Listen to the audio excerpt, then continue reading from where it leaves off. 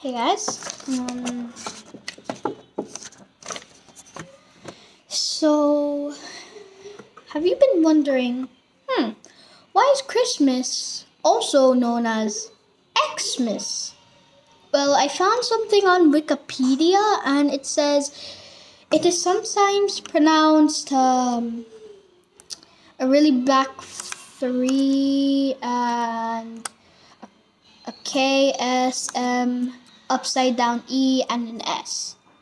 And then here's the words we know. But Xmas and Ver Vertians, such as Xtamas, organic as handwriting, abbreviations for the typical pronunciation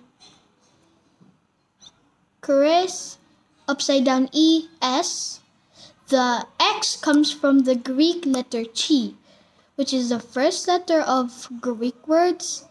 Christos, Greek, um, an X, a weird P, a weird I, a weird O, a weird T, and a weird um S, upside down S or or an upside down five. I don't know.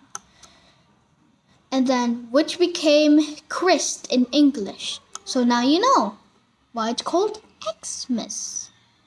Thank you for watching. And sub to my channel, boy. sub.